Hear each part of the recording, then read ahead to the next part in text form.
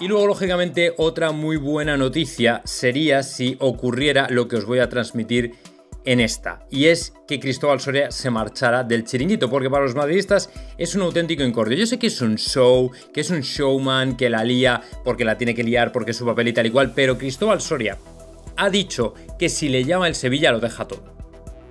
O sea, que si al final el Sevilla se animara a recontratarle, porque este hombre ya estuvo trabajando en el Sevilla, de delegado de campo, si se reanimara, si se animara a contratarle otra vez y dejar el chiringuito, de verdad que me daría una paz que no os podéis imaginar la, lo a gusto que me iba a quedar y que nos íbamos a quedar todos los madridistas. Porque como de antimadridismo está el mundo lleno, ¿me entendéis? Que se vaya uno a tomar por saco, sinceramente no me parece un drama. Al contrario, casi hasta lo agradecería. Así que bueno, pues evidentemente ahí queda la anécdota, ahora queda que Pedrerol, lógicamente, haya tomado nota y que Soria cumpla su palabra y si le llama el Sevilla, que no sé si le va a llamar o no, porque no sé, ni tengo ni idea y ni me interesa tampoco a resultas de qué dice esto,